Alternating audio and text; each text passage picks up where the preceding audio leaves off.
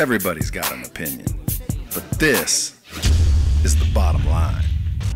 This bottom line is about generosity. Most people aren't that generous. Most people only let go of a quarter to get a better grip. Most people are all stingy. Most people are worried about themselves. What's in it for me? What can I get out of it? It's the old radio station WIFM. What's in it for me? Listen, what's in it for you is irrelevant. You need to just relax and be generous. Try to just give, whether it be financially, emotionally, spiritually. Did I say financially? Anything, man. Be generous. What you put out in the universe comes back tenfold. You got to be generous. Help your neighbor out. Help your friends out. Help your family out. Help your cousin out. Help people out, man. You see everybody being greedy, all these misers trying to keep all their money and not sharing. And you know, that's mine, that's mine.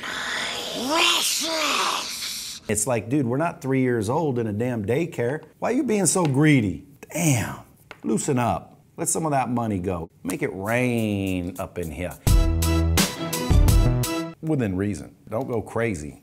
You know, don't give all your money away to everybody else. You know, in an airplane where they say put your own oxygen mask on first, take care of yourself first. But then when the cup runneth over, don't go grab another cup to collect what's spilling over. Let everybody else's cup fill up, man. Listen, it ain't always all about money. You don't have to be rich to be generous.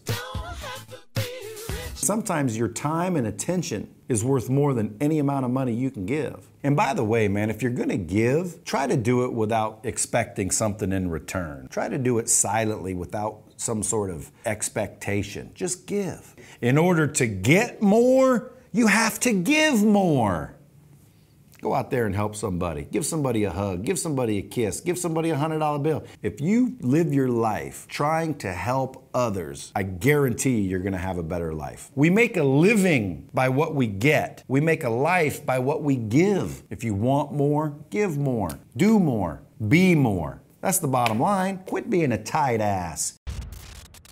I want you to be generous and subscribe and share this thing.